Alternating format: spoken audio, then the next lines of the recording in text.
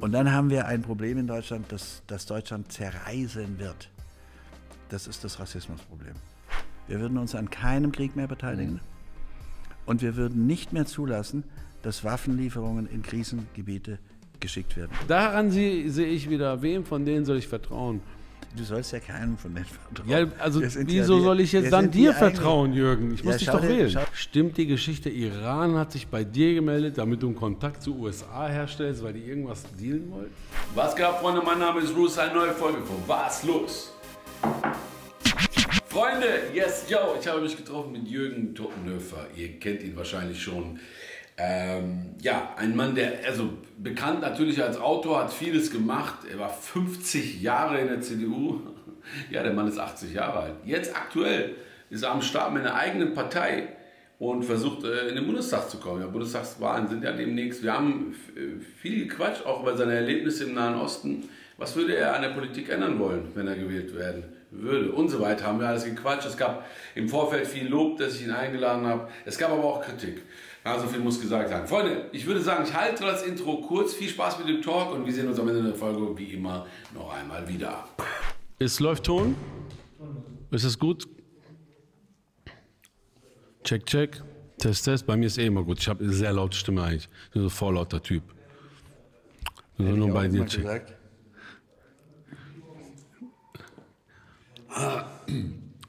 Ich habe kaputte Stimmbänder im Augenblick.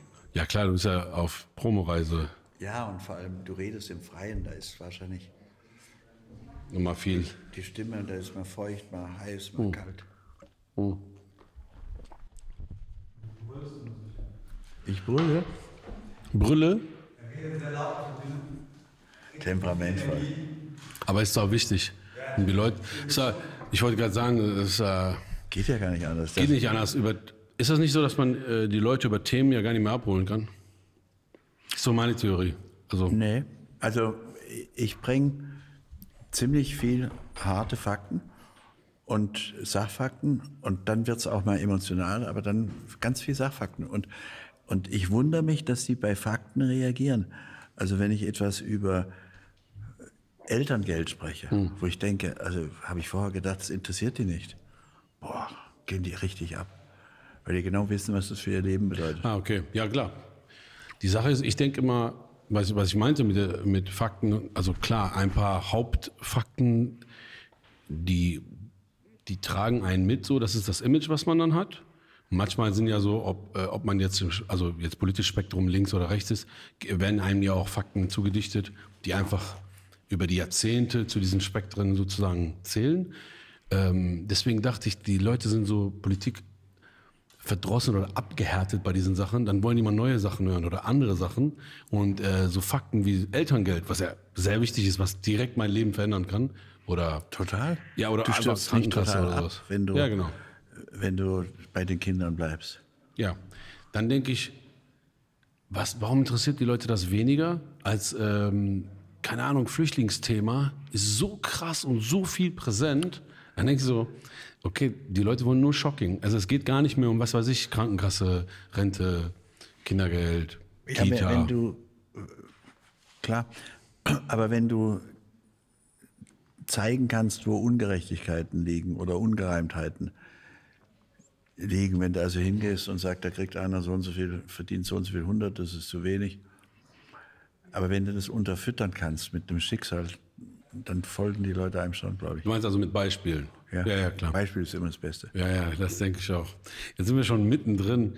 Ist unglaublich. Also, ähm, also, damit es klar ist für die Leute, ich darf den Jürgen duzen, das habe ich vorher gefragt. Das heißt keine Respektlosigkeit, obwohl das ein bisschen ungewohnt ist. Man hat Schwierigkeiten damit. Ich habe immer noch nicht vergessen, dass ich eigentlich immer der Jüngste war bei allem, was ich gemacht habe. Ich komme ja immer noch als der Jüngste vor. Immer noch in der Politik.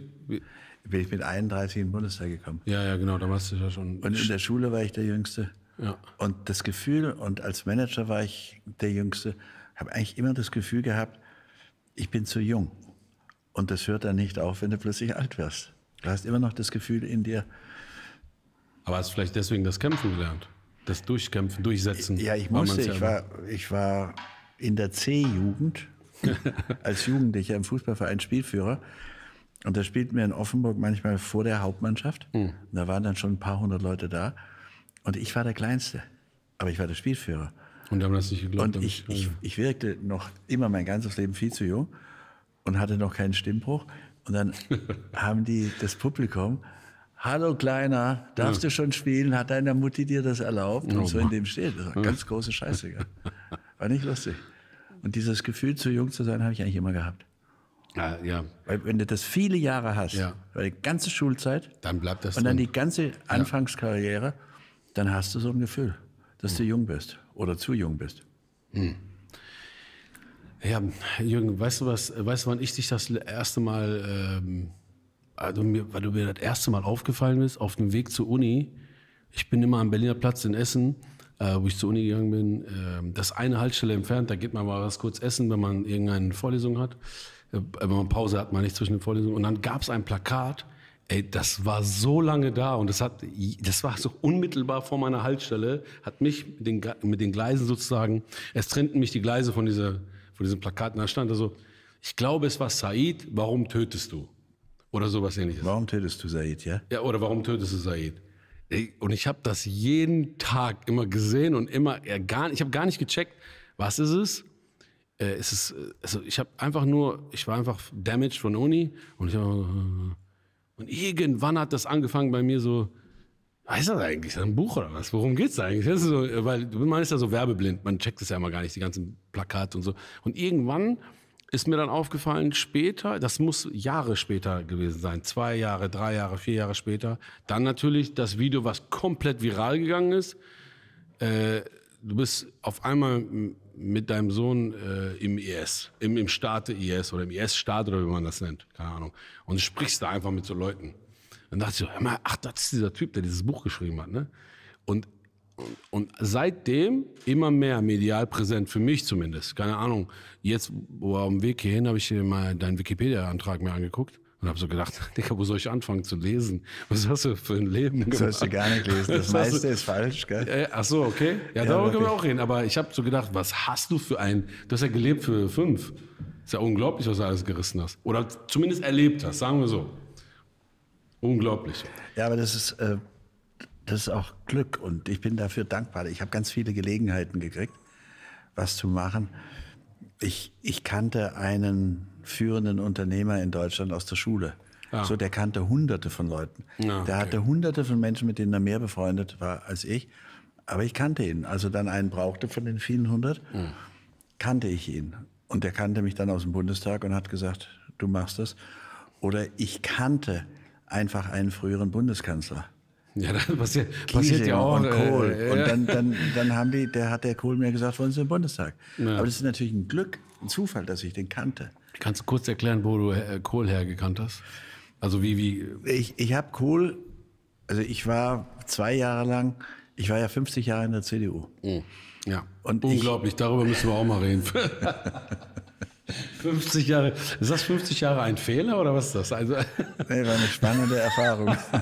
50 Aber Jahre. ihr, ihr dürft eins nicht vergessen. Die CDU ist jetzt eine etwas eingeschlafene Partei, Ja. aber die hat dieses Land aufgebaut, die hat die soziale Marktwirtschaft, die hat das Wirtschaftswunder geschaffen, die hat in den Anfangsjahren große Verdienste. Hm. Und das war ganz anders. Also war vieles anders. Zum Beispiel unter Kohl flog man, wäre jeder aus der Partei geflogen, der gesagt hätte, wir müssten mal einen Krieg führen. Ja, äh, Heute fliegst du aus der Partei, wenn du, nicht, wenn du nicht ja. mitmachst. Ja, oder nicht mitmachst oder ähm, ja, es ist, es ist so oft gesagt, es ist so oft gesagt, dann hat man mal keinen Bock mehr zu hören. Ja, das stimmt. Aber wir haben ja hier auch, hier, auch hier gab es Internetschwierigkeiten, haben wir auch Kohl zu verdanken. Was? Aber ja, das haben wir Kohl zu verdanken. Aber okay. Äh, äh, Kohl haben wir einiges zu verdanken. Aber wo ich so gelesen habe, also ich meine, wenn man sich mit äh, den Sachen beschäftigt, was du, so, was du so sagst, also deine öffentliche Persona, Facebook, Instagram, da bist du ja gut aufgestellt, muss ich sagen, viel besser als andere Politiker, witzigerweise so.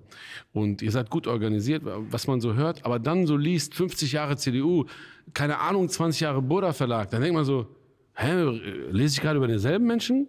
Warte mal, das müssen ja zwei Menschen gewesen sein. Es muss irgendwann in deinem Leben eine miese Umbruchssituation gewesen sein. War das so, was man, ich äh, denke mir, das muss diese äh, Amerika-Afghanistan 9-11-Situation gewesen sein, wo du vielleicht ein Umdenken vielleicht stattgefunden hat? Ich weiß es nicht. Also du hast da sehr gescheit analysiert. Oder? War auch nicht so schwer. Ja, weil das hat eine, eine wichtige Rolle gespielt. Ich war, ich, ich finde auch heute noch die westliche Zivilisation spannend. Wir leben eigentlich ganz ja. gerne im Westen. Ich lebe ganz gerne in Deutschland und du auch. Ja, klar. Auf jeden und, Fall. Und ich war von vielem überzeugt. Ich war und bin amerikanischer Ehrenoberst. Ehrenoberst. Ehrenoberst, immer noch, obwohl ich die kritisiere, dass es kracht. Und ich bin der einzige deutsche amerikanische Ehrengirl Scout.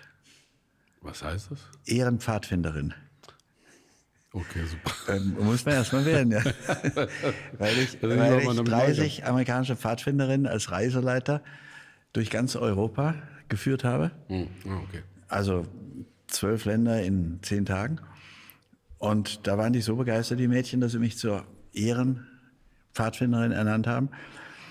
Und, und ich war ein entschlossener Gegner der Sowjetunion, die ja. ich für ein Unrechtregime angesehen habe. Und die Sowjetunion hat Afghanistan überfallen. Mhm, ja. 19, Im Weihnachten 1979. Ja, das ist sehr lange her. Und das war, ja, das ist, ja aber ein halbes Jahr später war ja. ich der erste Journalist aus dem Westen, der zu Fuß über den Hindukusch gekrabbelt ist, geklettert ist und dann runter auf der anderen Seite. Und dann habe ich Jalalabad besucht, das heißt, ich bin zu Fuß durch Afghanistan. Mhm. Und der sowjetische Pressesprecher hat, der Sprecher von des Generalsekretärs der KPDSU hat gesagt, wenn wir den, bei einem Empfang für die deutsch-sowjetische Freundschaft, wenn wir den Kerl erwischen, werden wir ihn auspeitschen und dann erschießen. und in der sowjetischen Presse hieß ich der Bandit im Bundestag und der parlamentarische James Bond. So, also die, die Fronten, ich war ein richtiger Westler.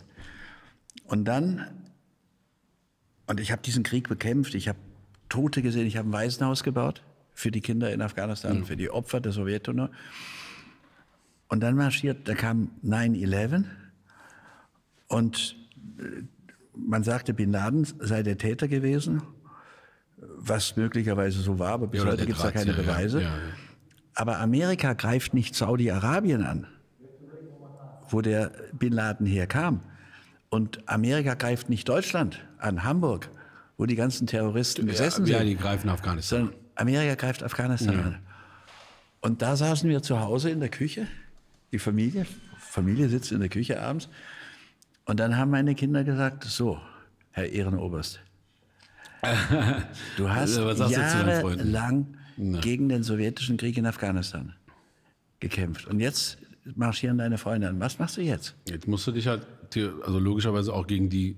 Und dann habe ich in der FAZ einen Artikel geschrieben mhm. und habe ein Buch geschrieben und habe gesagt, so geht das nicht. Mhm.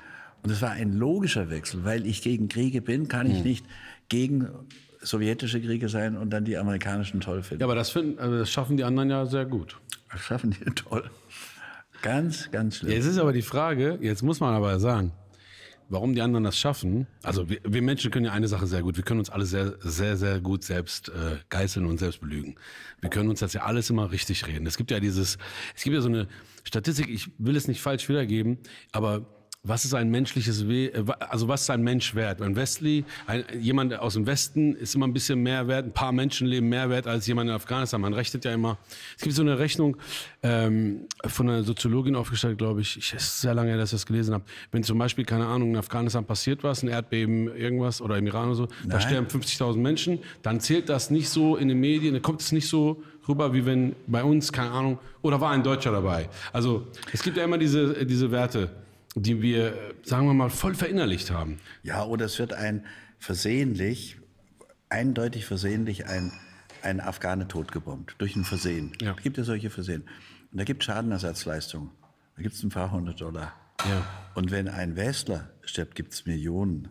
Ja, das, Entschädigung. Äh, Und da hast du da, da hast du, genau, das, haben, das hast du gut gesagt. Das ist, genau das meinte ich. Deswegen wollte ich sagen, ein Krieg von der Sowjetunion kommt uns ja böse vor, sowieso. Aber ich habe Rambo gesehen, ich weiß doch, die sind böse. Und ein US-Krieg ist ja immer, ja, aber ist cool. Ja, das waren die Helden in den Filmen, die wir gesehen ja, haben. Ja, also wir sind ja, wir haben uns quasi selbst falsch erzogen, oder? Oder, oder sehr tendenziös. also, nein, nein, die, die Heuchel, Heuchelei-Schminke ist abgegangen. Wir haben immer gesagt und sagen das heute noch, wenn wir Kriege führen, führen wir den Krieg fürs Gute, weil Ja, wir genau. die Guten sind. genau, wir sind die und wir Guten. kämpfen für Menschenrechte und Demokratie. Ja.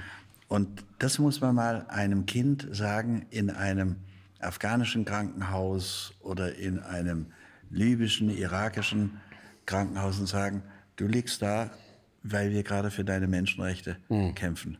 Das ist so beschämend, wie schön wir unsere Morde Ja, wie schön wir äh, gewissermaßen reden können und vor allem, wie wir bei gewissen Sachen äh, sehr, sehr, sehr schön, äh, wie sagt man das? Wir können das so schön blocken, wir können wegschauen. Wir können sehr geile Sachen wegschauen, bei geilen Sachen wegschauen und bei vielen Sachen, da schauen wir sehr, sehr, sehr genau hin. Ja, das ist so ein bisschen trichterförmig. Also ich kann nicht wegschauen, das ist mein Problem. Ist ja, ne, ist ja auch gut so. Ist ja gut so, dass es jemanden gibt, der nicht wegschauen kann. Ich frage mich nur, was willst du in der Politik aber? Weil ist es nicht in der, aber warte mal, du hast selber gesagt, du hast selber das mal gesagt, oder vielleicht hast du das auch einige Mal gesagt, ich habe nur ein paar Interviews gesehen. In der Politik muss man, ich meine, du warst 20 Jahre, 50, 5, ach, ich kann es gar nicht glauben. Ich muss, einer muss, mein, muss meinen Puls fühlen. 50 Jahre länger als ich lebe in der CDU. Du kennst das Spiel, du weißt es ja. Du hast aktiv, weiß ich nicht, 20 Jahre im Bundestag. Ja. Man muss hier und da Zugeständnisse machen, auch wenn man vielleicht nicht der Hab Meinung ist, um woanders was zu bekommen. Aber das wirst du ja jetzt machen müssen. Ja, habe ich aber nicht. Nee, nee, nee, nee, nee. nee. Der, im, Im Bundestag habe ich häufig gegen die CDU gestimmt. Also ein berühmtes Beispiel ist zum Beispiel, die Leute sagten, ich sei ein Freund von Strauß, mit dem ich auch Ja. mich sehr gut verstanden habe, weil ich ihn als Mensch ganz anders erlebt habe, als er geschildert wurde. Und dann hat Strauß im Deutschen Bundestag eine Forderung eingebracht, mit der er die CDU praktisch vergewaltigt hat. Er hat gefordert, dass das Flugbenzin verbilligt wird. Okay. Er, der alte Pilot, wollte, dass das Flugbenzin Also eine sehr persönliche. Äh, Nee, nee, nee, nee aber aus, Symp aus Sympathie. Und die CDU war dagegen. Und er hat die CDU hat gesagt, ich lasse die Koalition platzen. Ah, also die Fraktionsgemeinschaft. Und die CDU war dagegen. Und dann gab es die Abstimmung im Deutschen Bundestag. Und da hat man so, so Karten, Kärtchen, Kärtchen in der Hand, die hält man hoch, wo die Menschen Ja. erkennen, ob man Ja oder Nein stimmt. Und ich habe gegen das Gesetz von Strauß gestimmt. Und die CSU-Abgeordneten wollten mich nicht zu der Abstimmungsbox durchlassen, weil sie sagten, das kann doch nicht sein. Ja. Du bist doch mit dem befreundet, das kann doch nicht sein. dass-" Ich habe gesagt, das ist Unsinn. Flugbenzin zu senken und andere Steuern zu erhöhen, mache ich nicht mit. Ja, aber es ist doch der Strauß, habe ich gesagt. Es ist doch völlig egal, wer das macht. Ich bin dagegen. Und dann habe ich dagegen gestimmt. Strauß war nie böse drüber, aber die anderen haben gesagt, der ist verrückt. Und der Kohl hat gesagt, der Kohl ist mehrfach gefragt worden nach mir. Und Kohl hat gesagt, der Tottenhöfer, das ist gar kein Politiker. Das ist ein Idealist. ja, Und das ist halt so und vielleicht muss es das auch geben.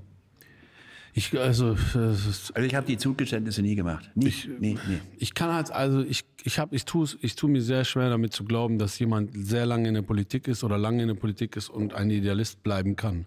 Ich glaube, man, ich glaube, die meisten gehen schon irgendwo mehr oder weniger mit Idealist, mit, mit einem, mit einem Ideal oder mit Idealen oder mit Ideen da rein.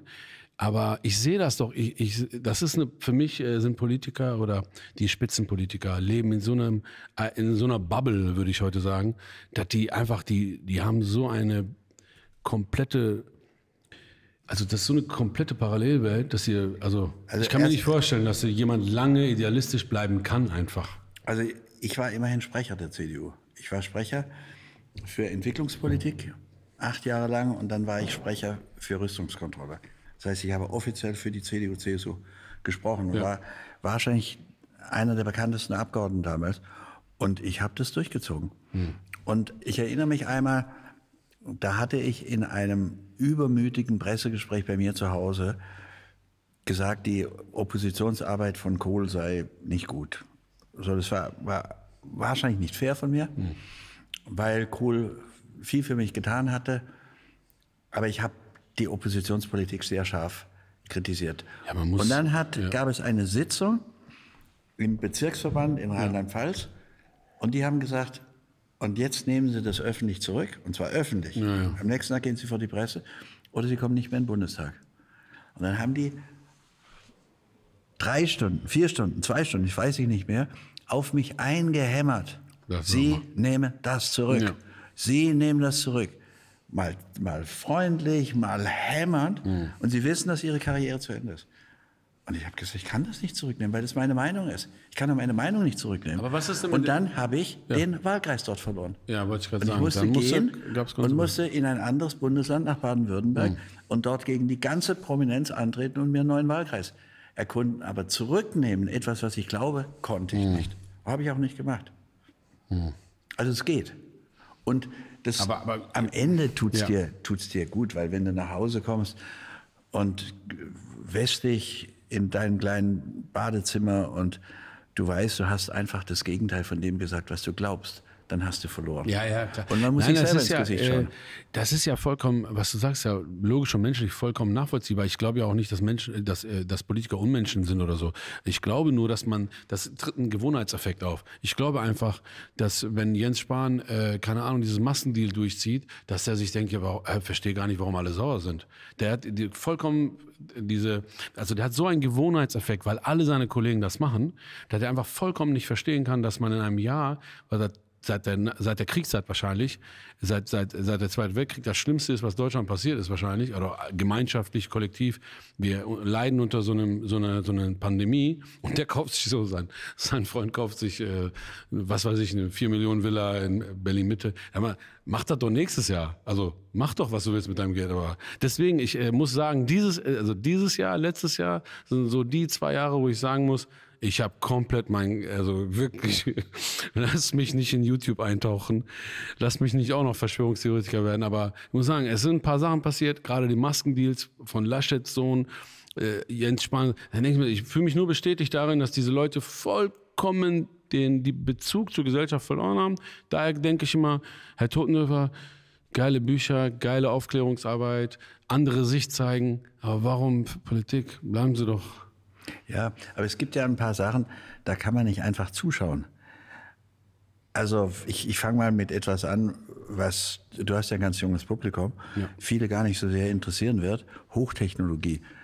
Wir waren ein Hochtechnologieland und kacken zurzeit überall. Ja, tot- aber das merken meine Leute ja alle am Internet. total Ne? ab. Als Corona kam, waren die Lehrer nicht in der Lage, den Schülern über Internet Unterricht zu geben, weil wir nach der PISA-Studie von 77 Ländern oder von 79 Ländern auf dem drittletzten Platz auf der Welt sind in, der, Aus, in der digitalen Ausbildung von Lehrern. Und da kannst du sagen, ja, kümmert mich nicht. Aber es kümmert mich schon. Ja. Weil das bedeutet für Hunderttausende, wahrscheinlich für Millionen Kinder, dass sie total zurückgefallen sind, ein Jahr verloren haben und das nicht mehr aufholen können, vor allem wenn sie aus einkommensschwachen Familien kommen oder aus sogenannten bildungsfernen Familien oder wenn ich sagen könnte, aus Migrationsfamilien, Einwanderfamilien. Die haben keinen Unterricht zu Hause gekriegt. Die Mutter kann ihnen nicht Ja. die Mathematikaufgaben erklären. Da ging nur das Internet und da haben diese Pfeifen unsere Lehrer nicht ausgebildet, ihnen die digitale Ausbildung nicht gegeben. Und das hat, finde ich, schon dramatische Folgen und das ist jetzt Wirtschaftspolitik. Aber wenn wir als Wirtschaftsland nicht funktionieren, dann kommt das Geld nicht rein, was wir für den Sozialstaat brauchen. Ja. Dann ah, führen wir fröhlich in mehreren Ländern Kriege. Davon hörst du wenig, so man hört ein bisschen, da sind sie jetzt gerade nach 20 Jahren Kämpfens aus Afghanistan zurückgekommen. Kein einziger Politiker ist zum Empfang der Soldaten hin, Unglaublich. weil sie sich alle geschämt haben. Jetzt haben sie neue Ausreden. Ja, es gibt irgendwann gibt's dann wird man sich mit den Soldaten noch treffen.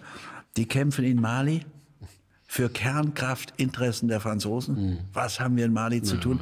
Die kämpfen vor der Küste von Libanon, um da Waffenlieferungen zu verhindern. Sie kämpfen vor Somalia, um die Piraterie zu verhindern, was dazu führt, dass die somalischen Fischer total verarmen. Sie kämpfen Sie betanken amerikanische Bombenflugzeuge, die im Irak und in Syrien noch immer angeblich gegen den IS kämpfen. Das heißt, wir sind auf der ganzen Welt mit Kriegen unterwegs und wir haben nie einen gewonnen und haben überall nur Unheil gesät. Ich habe ein zweites Waisenhaus gebaut für Kinder, die ihren Ernährer auf Befehl eines deutschen Oberst in Kundus verloren haben. So, und kann ich da sagen, ich schaue dazu, bei den Russen habe ich nicht zugeschaut, bei den Amerikanern schaue ich nicht zu und bei den Deutschen schaue ich. Und da denke ich, man muss was ändern. Und Und äh, so, dann habe ich versucht, das mit Büchern zu ändern und mit Vorträgen zu ändern. Und wir haben auch Videos gedreht. Mein Sohn hat mir geholfen. Und dann haben mir immer wieder Leute gesagt auf meinen Lesungen, hallo, der einzige Platz, wo du das ändern kannst, ist im in der Bundestag. Politik? Im Und dann haben wir ein Problem in Deutschland, dass, dass Deutschland zerreisen wird. Das ist das Rassismusproblem. Ich war vor zwei Wochen in Hanau, Ja. Wo neun Menschen mit Migrationshintergrund umgebracht wurden. Und ich habe in Hanau während des Krieges gelebt. Also es ist so ein bisschen eine meiner Heimatstädte. Habe ich fünf Jahre gelebt.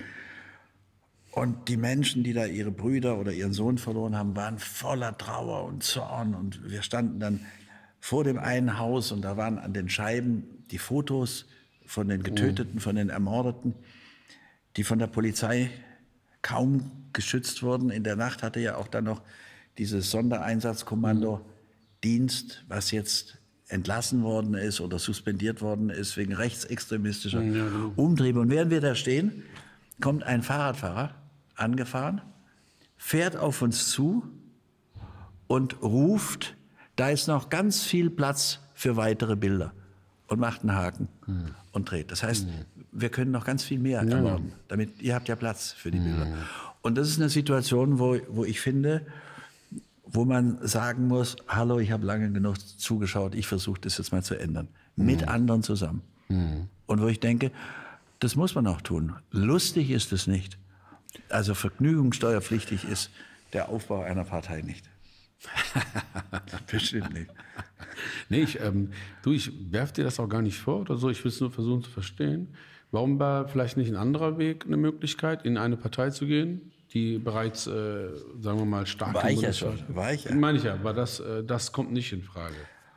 was Also- sind denn, also lass mich mal überlegen, also was sind denn Vorteile gegenüber die Probleme, die man hat, sich als ganz neue Partei, die auch noch, das wird ja auch kritisiert, nach dir benannt ist, es ja auch nochmal vielleicht strategisch anders machen können, können die Leuten ja auch sagen, ey mal, wie viel, wie, Aber das ist ja ein, ein total ignorantes Scheißargument, was du da bringst. ja, aber das höre ich die ganze Zeit. Ich Warum weiß es denn Ich sage ja nicht, dass, selber? dass du das. Ja. Aber Entschuldigung, so hat der österreichische Bundeskanzler, so ist der Bundeskanzler geworden.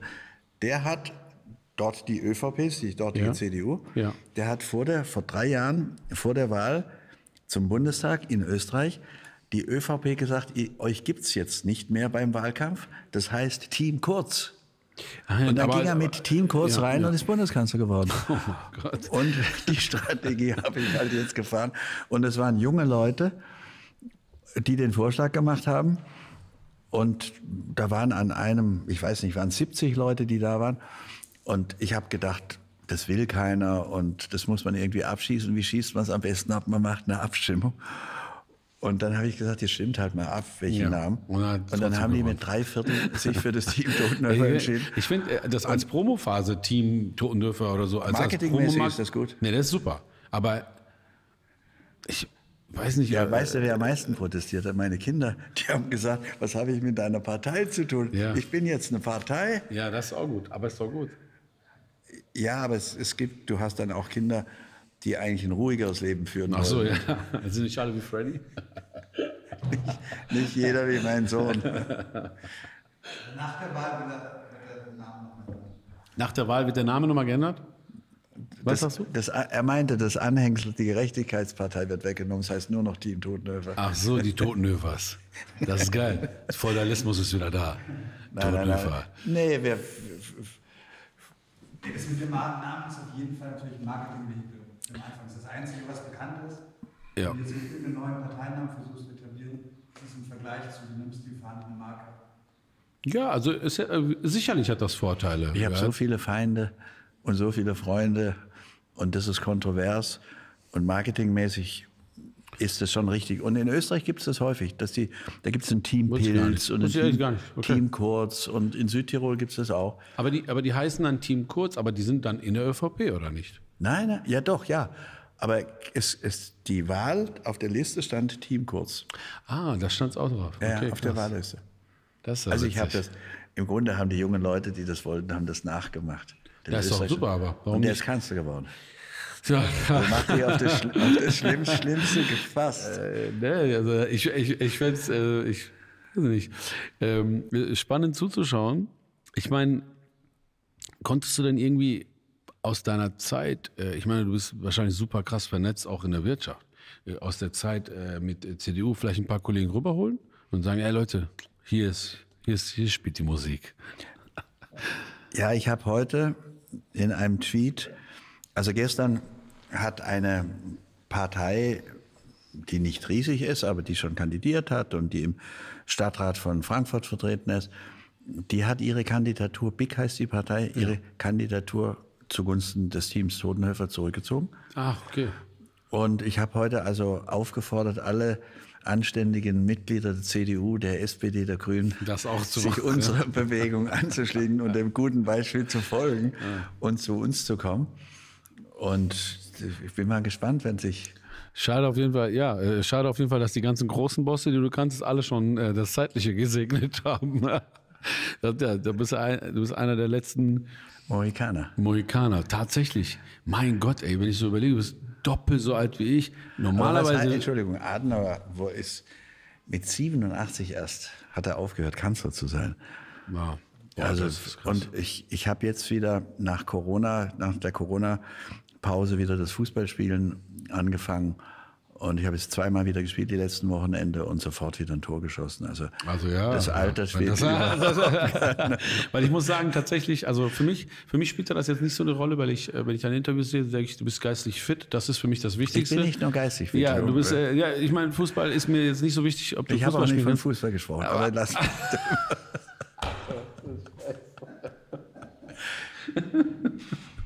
Okay, ich habe versucht, jetzt nach kann Fußball nur zu sagen, schieben. ich, ich, ich will ja nur sagen, ich kann nicht klagen. Ja? Nee, ich habe auch alles noch gut. nie klagen gehört. Alles gut, alles gut. Ich wollte nur sagen, dass ich auch ähm, manchmal lese ich im Netz, also wir haben uns natürlich, wir haben das angekündigt, dass wir dich äh, treffen und dann mal geschaut, was äh, Feedback ist, Fanfragen, also was heißt Fanfragen nennt man das normalerweise, aber Fragen und Kritik, äh, Lob und so weiter durchgecheckt und äh, was auch immer gesagt wird, ist natürlich, hey, ist der nicht zu alt äh, und so weiter, dann muss ich sagen, das ist, spielt für mich keine Rolle, weil wie gesagt, ich äh, Aber nochmal, dich mir ist mein Leben lang gesagt worden, ich sei zu jung. Das Ja, das ist witzig. ganz Erstaunliches. Ja, jetzt haben wir, wir haben ja jetzt so Leute wie Amtor und so, der ist jünger als sein Sohn.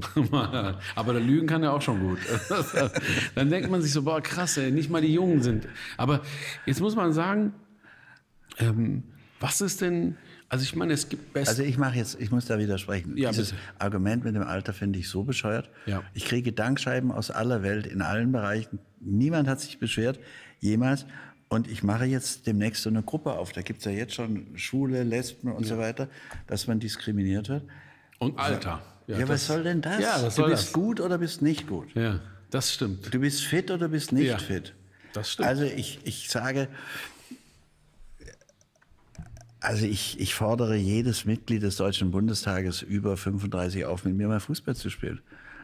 Sie können auch Ihre Frau mal für ein Abendessen zur Verfügung stellen. Oh mein Gott. Wenn Sie dann immer noch finden, dass ich zu alt sei, dann akzeptiere ich Gut, das. dann lassen wir das Argument ist dann schon mal jetzt auf jeden Fall Ja, aber es ist irgendwann diskret. Es ist absurd. Was, Es ist ja, es ist ja stochern und schauen, was man machen kann. Aber weißt du, was ein, vielleicht ein besseres Argument ist, was ich höre von gerade von unseren jungen Leuten, die sagen, ähm, also die, die sagen oft so, das ist ja schön und gut, was er sagt, aber ist nicht durchsetzbar. Ist ja Utopie, ist ja Märchen. Ja, ist ja toll, was er sagt, aber kriegen wir das durch? Und dann wollen die schon strategisch woanders wählen, weil die denken, ja, damit kommst du ja wenigstens in den Bundestag und so weiter. Was hältst du davon? Also ich halte davon nichts. Weil ich, in, wenn du meine Biografie liest, und zwar nicht bei Wikipedia, gegen die wir rechtlich vorgehen, weil da ganz viel nachweisbar, leicht nachweisbar falscher Unsinn steht, sondern wenn du meine Biografie siehst, siehst du eigentlich, dass die Dinge, die ich mir vorgenommen habe, habe ich immer gemacht. Ich hatte vor, in den Bundestag zu gehen, ich bin in den Bundestag gegangen. Ich habe vorgehabt, den Wahlkreis zu wechseln, weil ich eben dieses Zugeständnis, von dem wir vorhin ja. sprachen, nicht machen wollte. Also habe ich einen anderen Wahlkreis erobert. Ich wollte in die Wirtschaft, ich bin in die Wirtschaft. Mhm. Ich wollte, Kohl hat mir zweimal, als ich beschlossen habe, in die Wirtschaft zu gehen, also vier Jahre vor dem Schluss, angeboten, ein Ministeramt oder ein Amt in der Fraktionsführung zu übernehmen. Ich Mhm. Ja, habe gesagt, nein. Nein gesagt, ja. So das, was ich sage und was ich will, mache ich. Und zwar immer. Und ich werde, wenn, wenn wir in den Bundestag gehen, gibt es, wir, wir würden auch nicht mit jeder Partei koalieren. Also ich sage mal zwei Dinge, die wir, die nicht verhandelbar wären. Wir würden uns an keinem Krieg mehr beteiligen. Und wir würden nicht mehr zulassen, dass Waffenlieferungen in Krisengebiete geschickt werden, weil das direkter Beihilfe zum Mord ist. Mord, ja. Wenn da irgendwo ein Krieg stattfindet und die erschlagen sich schon und ich liefere da Waffen hin, Ja, dann liefere ich Waffen, damit die sich totschlagen. Ist das nicht immer so? Haben wir nicht nach dem Zweiten, Krieg eh, nach dem Zweiten Weltkrieg eh gesagt, wir machen das nicht mehr? Ja? Bis Kohl. Kohl hat keinen einzigen Krieg geführt. Ja. Und dann ging's los. Und, und heute sagen die ja auch nicht mehr Krieg führen, sondern sie sagen, Ja. wir müssen Verantwortung übernehmen. Ja. Sag das mal einem Kind in einem Wir bringen Krankenhaus. Dem- Demokratie dahin. Ja, oder wir, wir haben da gerade Verantwortung übernommen. Ist doch keine Verantwortung. Aber weißt du, Verantwortungslos. Also ich finde das wirklich durchaus ein sehr, sehr wichtiges Thema. Klar, braucht man nicht drüber reden. Aber du sagst, das ist nicht verhandelbar. Wir werden auch nicht mit jedem koalieren. Wie funktioniert das? Also im Best-Case-Szenario gewinnt ihr und kommt, äh, also geht über die 5% und kommt in den Bundestag rein. Oder zehn. Und Okay. wenn wir über zehn gehen, werden wir ein Koalitionspartner. Okay. Und dann müssen die sich überlegen, ob die mit der FDP oder den Grünen oder was auch immer oder mit uns. Und wir sind eine humanistische Partei, für die Menschenrechte und Menschlichkeit eine Rolle spielt. Und ich glaube einfach, weil das jahrzehntelang in Deutschland nicht zulässig war, Kriege zu führen, dass man diese Punkte durchsetzen kann. Und wir würden mit Demonstrationen und mit allem dafür kämpfen.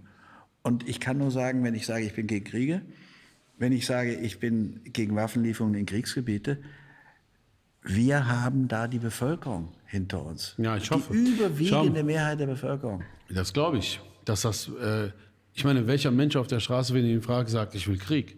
Aber warum, aber, aber warum funktioniert es trotzdem? Ja, ist die doch halt theoretisch den- jeder dagegen. Weil, ja, weil, also das klingt jetzt ein bisschen schroff und das muss ich wohl auch etwas schroff werden, weil die, weil die Politiker sie anlügen. Ja, genau, weil ich gebe mein, Dat- mein Mandat ab für vier Jahre und dann äh, tschüss. Die haben, ich habe nachgelesen, die Bundestagsdebatte wegen des Einmarsches in Afghanistan.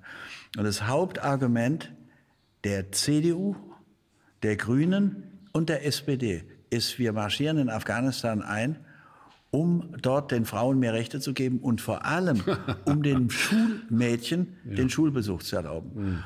Und immer wenn ich nach Berlin komme oder häufig, wenn ich nach Berlin komme und da Minister treffe, und die, wir, wir treffen uns immer noch, und die treffen sich immer noch mit mir oder andere führende Politiker, frage ich, wie geht's eigentlich den Schulmädchen? Ja, ja. Und dann sagen die, was Welche ist mit Schulmädchen? Und dann, dann, dann sage ich, ja, das war doch euer Kriegsgrund. Ach so, ja. ja. Und dann sage ich, ja, wie geht's denen denn? Ja, weiß ich das, weiß ich doch nicht. Ja. Ich kann sagen, 40 Prozent, weniger als 40 Prozent der Mädchen gehen zur Schule, vier Jahre lang. Nichts Gescheites ja, sie wissen es nicht mehr. Und wenn du, wenn du gefragt wurdest vor Afghanistan, da haben sie erstens gesagt, wir sind angegriffen worden von Afghanistan, was eine Lüge war. Dahinter standen Organisationen in Saudi-Arabien und, und Terroristen, die in Hamburg trainiert haben. Und sie haben den Leuten nur Märchen erzählt und den Eindruck erweckt, als habe Afghanistan irgendeinen Krieg geführt. Ja, also das ist Und ich kenne, ich kenne Mitglieder der früheren Ja. Taliban-Regierung. Ja. Die haben den Bin Laden als Belastung empfunden. Und sie haben den Bin Laden, das sagt er selber in einem Interview mit einem amerikanischen Journalisten, gesagt, du hältst politisch gefälligst jetzt die Klappe, wir kriegen wegen dir nur Schwierigkeiten. Mhm. Und das sagt er selber zu einem Journalisten, ich glaube von CNN, sagt er, ich darf eigentlich nichts mehr sagen, aber ich sage Ihnen jetzt. Hey, äh, ich verstehe das. Die Sache ist, jetzt muss ich sagen, guck mal, ich, hab, ich weiß gar nicht mehr, wann das war. Zur Abiturzeit kam, glaube ich, Joschka Fischer oder Gerhard Fröh. Äh, Joschka Gerhard- Fischer hat diese Reden am meisten gehalten. Ja, ich wollte gerade er sagen. für die Mädchen. Schau mal, ich sag dir das. Pass auf. Gerhard Schröder kam bei uns an die Schule oder zu Gruger Essen, ich weiß nicht mehr, Gruger Halle Essen, wenn ihr das kennt, hat so einen riesen Parteitag gemacht mit, äh, mit die, diese, diese Frauen waren da, It's Raining Man haben die gesungen, so als Opener. Das war richtig krass. Das war das erste Mal in meinem Leben, dass ich zu sowas war. Und dann hat er geredet, was die machen wollen. Was mir hängen geblieben ist, er und Joschka Fischer, die haben immer gesagt, und Joschka Fischer kam ja auch mit Jeans und so, der war cool und so. Dann hat er gesagt, mit uns wird es keinen Krieg geben. Habe ich die gewählt. Und was haben die gemacht? Eine Woche danach? Und weißt du, was sie dann gesagt haben? Sie haben gesagt, jetzt sind wir erwachsen Ja, geworden. jetzt, jetzt müssen wir, das ist kein Krieg, wir müssen da helfen. Nein, wir sind erwachsen Ja, geworden, oder wir dadurch, sind- dass wir Krieg führen. Ach so, ja Gott, oh mein Gott. Erwachsen werden durch Erschlagen von Kindern. Was macht der heute eigentlich, der Joschka? Was machen die Gut, so? gut Geld verdienen. Ja, also das Schwimmen. Was macht denn der Gerhard Schröder so? Der, in, in, der ist immer in Sowjetpool. Der andere, ich weiß nicht, was die. Nee, ich würde das nicht so übertreiben. Also, Ach. wenn der, aber Entschuldigung, ich kann ja auch mal einen Sozialdemokraten verteidigen. Bitte. Wenn der Schröder Manager bei einer amerikanischen Firma geworden wäre, Ja, dann hätte hätten wir wahrscheinlich Mensch, gesagt, cool. hätten alle gesagt, Nein, das super. Typ. Nein, das stimmt, das stimmt. Und stimmt. ich finde Russland genauso gut. Leben genauso Ja, das ist, Menschen äh, in da hast aber recht. Da hast du gut, sehr gutes Argument, muss ich sagen. Aber ich hätte, glaube ich, bei beidem gesagt, Alter, Alter, der hat sich der die letzten zwei, drei Jahre seiner Amtszeit nur den Weg bereitet, um einen geilen Nee, hat er Job nicht zu gemacht. Er kriegen. hat immer eine unpopuläre Politik gemacht. Ob das taktisch und ob das richtig war, dass man als Kanzler anschließend überhaupt Ja. Manager eines anderen Landes wird, ist eine andere Frage. Aber ich mache keinen Unterschied, ob man Manager bei Amerika Ja, wird, das ist richtig. wie Herr Merz Ja, das ist richtig, ja. oder wie Herr Schröder bei Russland. Da ist kein großer Merz, der Unterschied. ist der Beste, der ist mein Liebling. Der Friedrich Merz ist mein absoluter Liebling. Ich würde ein Poster von ihm zu Hause aufhängen, aber an unserer Dartscheibe. er ist mein Liebling. Ich glaube, Olaf Scholz, Merz, äh, wie heißt nochmal der, der immer sagt, äh, ja, ich, äh, fühlen Sie sich reich? Da wird er gefragt, ob der sich reich fühlt. Und er sagt, nee, ich würde sagen, äh, ich verdiene gut, aber reich bin ich nicht. Unterer Mittelstand, ja. So, und, er, und es ist offenkundig, dass er 15k im Monat macht und nur, für, nur 15k Lohn. Und ich will gar nicht sein Plus und Plus und Plus wissen. Und da musste er natürlich ein paar Tage später revidieren. Okay, ich bin superreich, äh, du Spinner. Dann. Also, also daran sehe sehe ich wieder, wem von denen soll ich vertrauen? Du sollst ja keinem von denen vertrauen. Ja, also wieso die- soll ich jetzt die dir vertrauen, Jürgen? Ich muss dich schau doch dir, wählen. Schau dir den, den, einfach schau dir den Lebensweg Ja. an. Der hat, ich, also ich rede mal jetzt in der dritten Form, Ja. der Kerl hat immer das getan, was er für richtig hielt und hat sich dafür verprügeln lassen. Ich bin doch immer verprügelt worden. Wenn ich, ich habe mit Pinochet verhandelt über die Freilassung von 5000 marxistischen Gefangenen. Erzählt er so nebenbei. Pinochet hat so einen Wiki-Eintrag. So.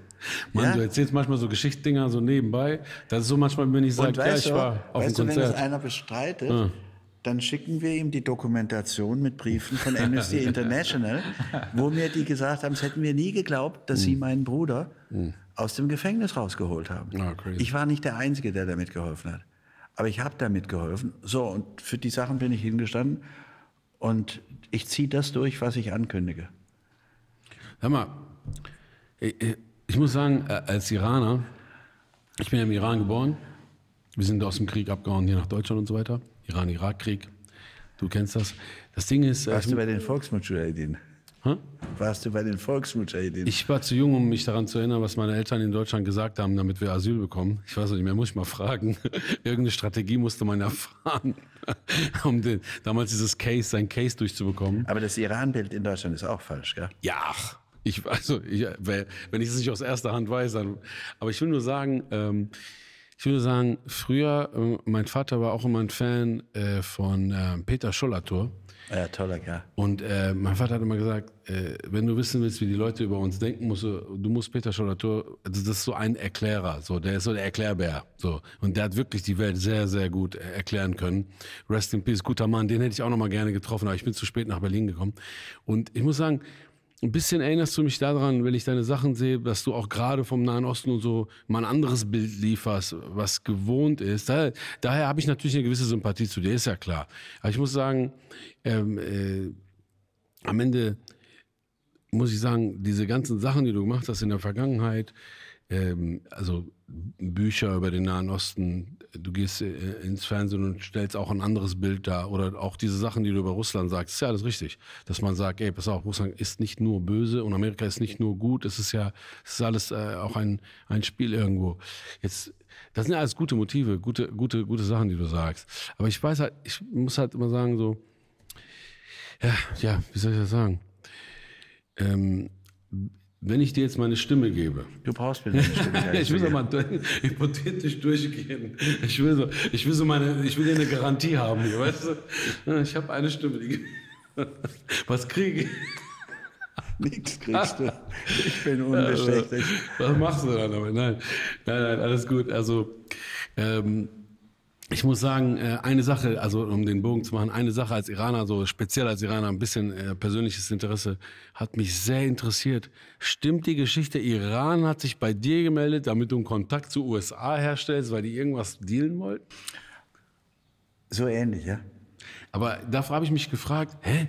Haben nicht alle, oder haben wir ein falsches Bild von Politik? Haben nicht alle Länder irgendwie Nee. Kontakt zueinander und ja eh, das- Nummern das- voneinander? Das war ja, das war, also erstens, in der ganzen modernen Geschichte und wahrscheinlich auch in der alten, gab es immer Privatmenschen, die politische Kontakte aufgegriffen haben. Also der amerikanische Präsident Wilson hat vor dem Ersten Weltkrieg, den er nicht wollte, seinen engsten Freund, einen Industriellen, zu allen Ministerpräsidenten und Kanzlern Europas geschickt und hat auf die eingeredet, lass diesen verrückten Krieg. Ah, okay, also das ist eine, eine alte Tradition und ich habe das ein paar Mal gemacht. Also ich war auch in Absprache mit dem Weißen Haus bei Assad, in direkter Absprache. Jeder Schritt, den ich gemacht habe, war mit dem amerikanischen Botschafter abgesprochen. Und ich war auch in Absprache mit der Kanzlerin bei Assad, der ihr daraufhin ein schriftliches Friedensangebot gemacht hat. Und er hat sie gebeten, sie könne, solle Vermittlerin sein. Es war ganz am Anfang, als dieser Krieg, oder nee, es war nicht am Anfang, es war aber eben nicht gegen Ende, sondern es war relativ früh. Und bei Iran ist es so gewesen, dass ich ein paar Mal im Iran war. Mal mit meinem Sohn, mal mit Freunden und, und mal mit meiner Tochter. Und ich hatte auch einen Kontakt zu für politischen Iranern in Deutschland über die iranische Botschaft. Und das waren die Zeiten von Ahmadinejad. Und zu dieser Zeit sprach die amerikanische Regierung nicht mit der iranischen Regierung. Und die haben einfach sich geweigert, miteinander zu reden.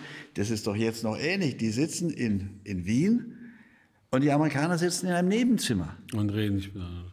Nee, die reden nicht mit, die verhandeln, aber die sitzen im Nebenzimmer und lassen sich das übertragen. So absurd. Ja, das ist mega absurd. Und da hat mir ein Politiker, den ich jetzt nicht lokalisiere, Ja. gesagt, wir haben keine Kontakte. Hm. Wir haben keinen Kontakt zur amerikanischen Regierung. Und wir wollen unser Verhältnis ändern. Und ich kann dir das jetzt genau, sogar präzise erzählen. Ich bin dann zu Schäuble gegangen, der damals Bundesfinanzminister war, und habe gesagt, die Iraner haben mich gefragt, ob ich mithelfen könnte, einen Kontakt zur amerikanischen Regierung aufzustellen. Können Sie mir helfen?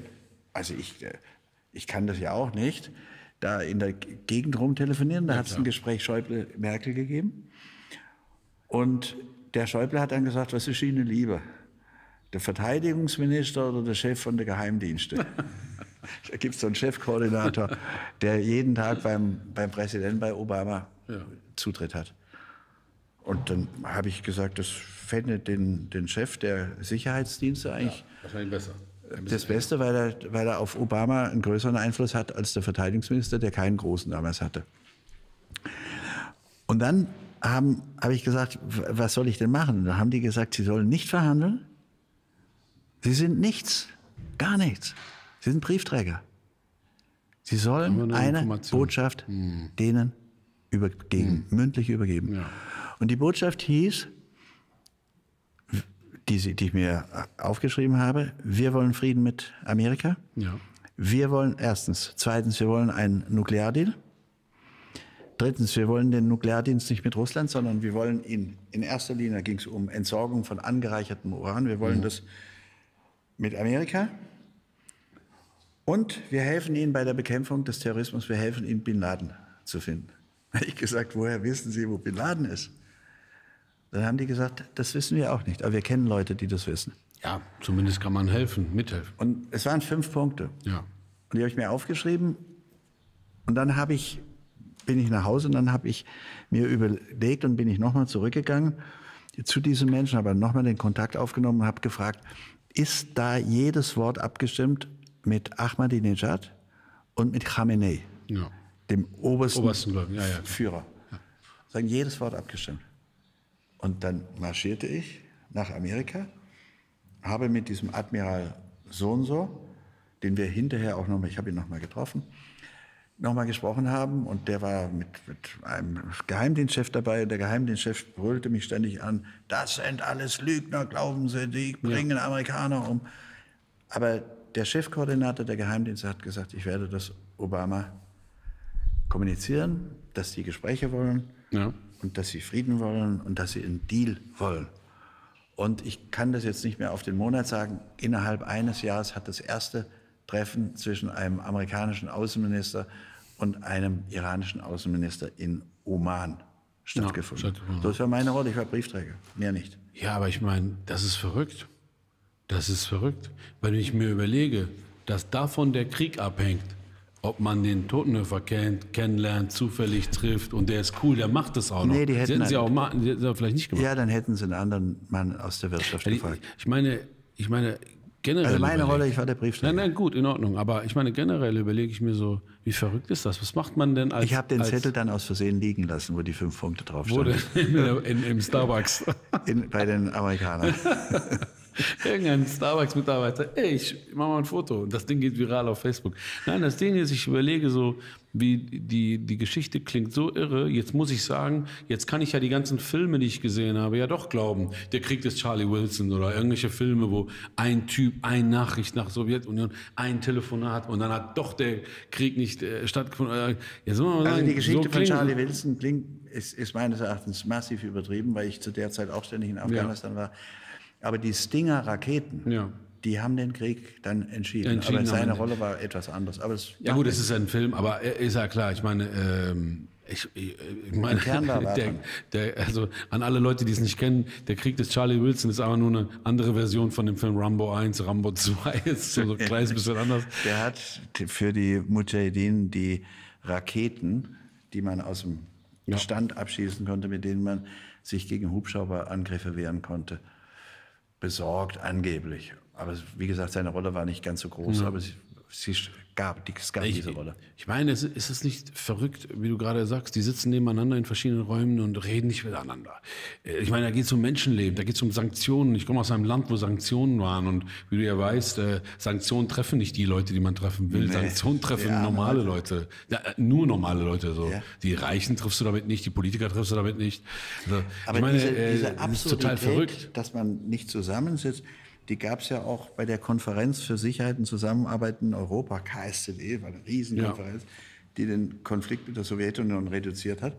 Da saßen die Deutschen, da saßen die Verhandler an einem Tisch und die Deutschen, die DDR-Vertreter und die Bundesrepublik-Vertreter, die saßen an einem Katzentisch, durften nicht am selben Tisch. War Das ist aber was das? absurd. Ja, lächerlich. Also, dann denkt man so, äh, Politiker sind so erwachsen, haben schon so viel Menschenerfahrung und, und Wissen und, und auch wissen, wie wichtig vielleicht Frieden und Krieg ist und so. Das ist ja Quatsch. Aber es gibt auch Leute, die dann so etwas nicht glauben, so eine Geschichte. Ja. Nur die iranische Regierung hat mich immer wieder eingeladen danach. Und ich habe mich immer wieder mit dem iranischen Außenminister Sarif getroffen. Und also ich glaube, dass die Geschichte, die ich erzählt habe, wahr ist. Ja, äh, ich glaube dir ja auch, aber die Sache ist, äh, ich dachte immer, es gibt, dafür gibt es doch Botschaften oder nicht? Ich nee, meine, wir hatten keine Botschaft. Wir, wir, ich gebe dir mal was ganz Absurdes. Ja. Wir haben eine Flüchtlingskrise. ja, Und die Flüchtlingskrise, da hat die Bundesregierung die Kontrolle über die Flüchtlingskrise irgendwann verloren. Und da bin ich zu Altmaier, der war damals Kanzleramtsminister, und habe gesagt, aber da kommen ganz viele Leute, die kommen gar nicht aus Kriegsgebieten. Und wie behandeln Sie die und nach welchen Kriterien gehen Sie vor? Weil irgendwann ist es außer Kontrolle geraten. Und dann sagt er, ja, unsere Landratsämter sind nicht dazu da, sowas zu überprüfen. Und dann habe ich gedacht, aber warum habt ihr die Botschaft zugemacht in Syrien? Wenn wir eine Botschaft gehabt hätten Hm. Ja, so in könnte Syrien, man mit denen quatschen. da Ja, hätte man ja. richtig überlegen können, wem muss man vorrangig helfen. So sind sie völlig angewiesen auf die Angaben von anderen Leuten. Und Botschaften sind immer was ganz Wichtiges. ja, ja. Diese Leute sind vor Ort, die wissen, worüber geredet wird. Ja, klar. Und meine, dafür, dafür sind ja Botschaften da. Deswegen kommt mir das so irre vor, dass die Leute dann äh, manchmal einfach Vermittler brauchen und, und so weiter. Und dann denke ich mir so, Aber es gab keine Botschaft. ja, es ist crazy. Es gab keine iranische. Ist das denn, wie ist das denn heute? Gibt es eine iranische Botschaft in den USA? Oder machen die das einfach nicht? Seit, äh, seit die, äh, amerikanische Also wenn ich Botschaft mich damals. richtig erinnere, hat die Schweiz, also ich bin da jetzt nicht mehr so im Thema drin, die Schweiz die Interessen Amerikas wahrgenommen. Ah, okay. Also der Schweizer Botschafter war der Interessenvertreter Okay. in, in Iran Ja, ja, für die Amerikaner. Ja, okay, crazy. Wa- Warum macht man das zu? Weil man Angst hat um die Botschafter? Oder? Nee, da kommt irgendwie eine Krise und dann werden Botschafter zurückgerufen. Ach, das ist auch ein Zeichen, das ist ein Schachspiel, das ist ein Zeichen so, ne?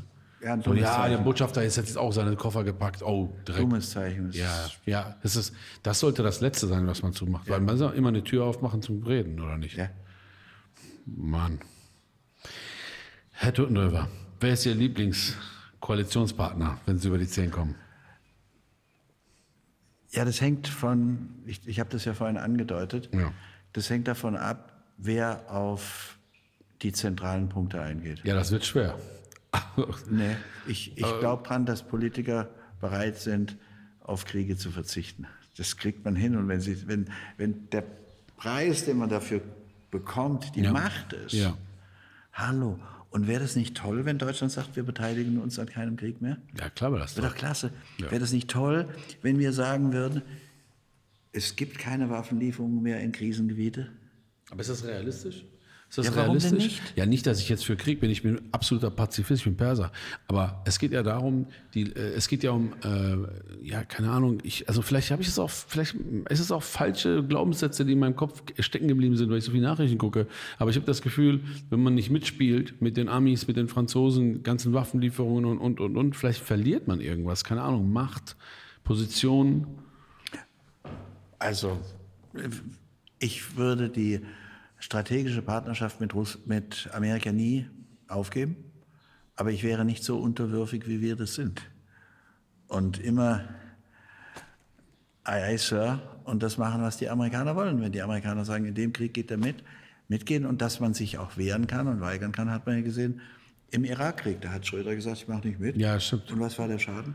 Null.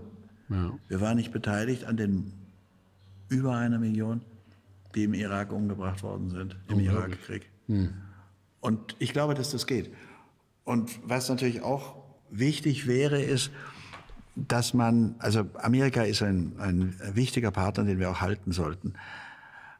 Aber wichtig wäre auch, dass wir ein vernünftiges Verhältnis zu Russland haben und schrittweise eine strategische Partnerschaft mit Russland aufbauen. Und jetzt fallen Ihnen alle sofort ein, mit Russland strategische Partnerschaft, aber uns hat man doch jeden Tag gesagt, das sind die Bösen.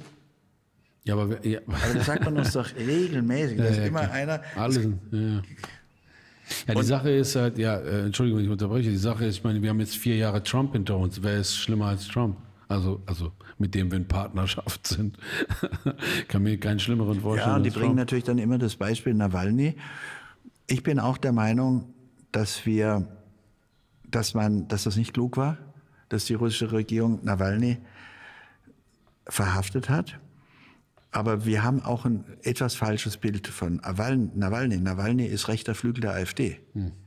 Nawalny bezeichnet Muslime als Kakerlaken. Okay, das wusste ich auch nicht. Und also rechter Rechts Rechtspopulist, nochmal rechts. Rechtspopulist und, und er, so er ist auch gefragt worden, ob er zu diesen Äußerungen, die schon ein bisschen her sind, noch steht und, und hat gesagt, ja, er möchte mit allen sprechen können und das, das ist auch seine Meinung. Ich sage trotzdem, wir sollten ihn, uns dafür einsetzen, dass er freigelassen wird. Wir sollten uns aber genauso dafür einsetzen, dass Julian Assange Freigelassen freigelassen wird, ja. Tun wir das? wir Überhaupt sollten uns nicht. dafür einsetzen, dass aus Russland Leute, die dorthin geflohen sind, freigelassen werden. Wir sollten uns dafür einsetzen, dass in Guantanamo, wo immer noch 40 Menschen sitzen ohne einen Gerichtsprozess, die sitzen noch immer da in Ja, ja. diesem Gefängnis. Und da setzen wir uns nicht ein. Da sollten wir uns auch dafür einsetzen. Witzig, dass es das noch gibt. Obama hat gesagt, wenn er Präsident wird, wird er das auflösen. Gibt es immer noch. Ja, hat es sich nicht durchgesetzt, ja. Ja. Aber ich wollte nur sagen, Ja, wenn ja, man klar. das Image Russlands an Nawalny festmacht, das sehen wir ganz schlecht aus. Ja, oder an Putin. Ich weiß, ich, ich weiß das. das wir, müssen auch, wir müssen auch schauen, dass wir, also jetzt gesprochen als Deutschland sozusagen, dass man mit äh, allen irgendwie versucht. Die Kunst eines Also, Politikers besteht ja. nicht darin, möglichst viele Feinde für sein Ja, Land zu schaffen, sondern möglichst viele Freunde. Ja klar. Die Sache ist halt, wir sind mit, äh, ja, wir sagen immer, wir haben eine Partnerschaft mit den USA. Ist ein bisschen un, im Ungleichgewicht geraten, vielleicht. Müssen wir das wieder ist- zurückerobern. Das, bisschen, paar Meter, oder? das ist halt, der eine Partner ist so und der andere ist Ja, so. Aber das ist auch eine Frage der Persönlichkeiten. Wenn, wenn Sie halt einen Außenminister haben wie Maas, so der... Auch der, so witzig. Aber es ist so witzig, macht- dass das an sowas liegt. An, eine, an, einen, an, einen, an einen Typen, der, ob der gut reden kann oder nicht. Also das ist Ja, so witzig, dass er es nur daran halt liegt. nicht selbstbewusst genug. Ja. Und man könnte ja mal sagen, hallo, ich als Deutscher finde es nicht gut. Er müsste ja nicht mal, er könnte ja, er müsste ja nicht mal selbstbewusst sein. Er könnte ja sagen, ich mag euch ja, aber mein, mein, meine Chefin drüben äh, in Deutschland, die hat gesagt, ich darf das nicht machen. Ich würde das voll gerne machen. So eine Distanzverschiebung schaffen. Ich Ja, mag euch. und, die geht, aber die Merkel würde meint nein. Ja, aber die würde funktionieren. Und dass mal ein Deutscher sagt, hallo, der Snowden. Ja, Ich meine, wenn ich den sprechen will, ja.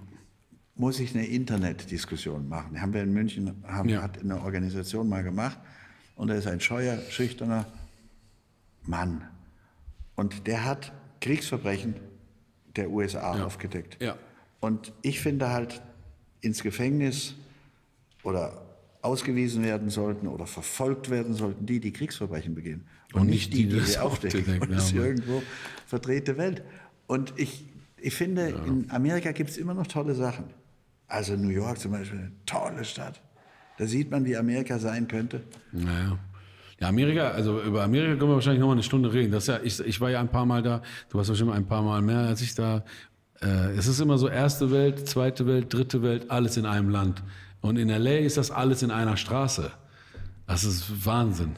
Das habe ich noch nie in meinem Leben so gesehen. An welche Straße denkst du da? Also in LA gibt es ja, ich weiß nicht, wie die heißt, aber es gibt ja diese Straße, äh, die so die meisten Obdachlosen der Welt irgendwie an einer Straße hat. Und eine Straße weiter ist dieser Hollywood Boulevard. Wo ich zum ersten Mal in Hollywood war, 2015 war ich da, habe ich gedacht, wow, das wird so krass, ich will so viele Fotos machen. Ne? Erstmal noch ein paar Aquafilme eingeladen. Und dann komme ich dahin, habe ich zwei Fotos gemacht, da war die Straße schon vorbei. Chinese Theater und dann ist vorbei. Und dann ist der erste mit Heroinspritze und dann kommt diese Straße und dann wird es dunkel. Und dann sind nur noch Obdachlose. Und dann gibt es noch so ein paar normale. Äh, also erste Welt, zweite Welt, dritte Welt, alles in einem. Das ist verrückt. Die Amis sind so crazy, wenn der einer wie Obama zum Beispiel sagt, ey, wir brauchen eine Versicherung für alle. Nein, das brauche ich. Haben so Angst, Freiheit abzugeben, so, äh, oder, oder was, Pseudo. Ne, die haben so eine Angst, äh, die haben so eine Angst vor Kommunismus und Sozialismus. Wenn irgendwas für alle ist, dann direkt, nein, das ist sozialistisch. Krankenkasse für alle, nein, das ist sozialistisch. Ich weiß nicht. Unglaublich. Ja, also da geht es uns, was Sozialstaat anlangt in Deutschland, schon viel besser. Viel besser, oder? Viel geiler. Wenn du da arm und krank bist, Da hast bist du du die weg. Ja, es gibt kein Netz. Es gibt kein Netz, ja. Oh Mann. Herr Totenhöfer.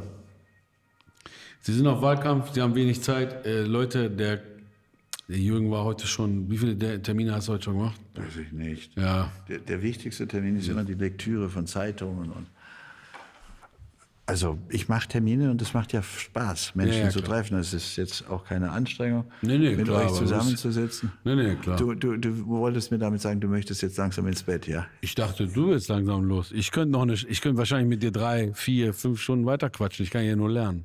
Ist ja klar. Nee, ich kann auch lernen, weil du stellst die richtigen Fragen. Hm. Das ist schon gut. Danke. Also, sollen wir noch mal die Fanfragen durchgehen? Wir haben ein paar Fragen aus dem Internet gesammelt, Ja. nicht viele. Wenn ich Lass irgendwo noch Wasser kriegen Ja. könnte? Kann einer Wasser besorgen, bevor wir hier äh, mit der Schweizer Botschaft das klären müssen? Freunde, yes, yes, yo. Tja, jetzt habt ihr es gehört. Was sagt ihr nun?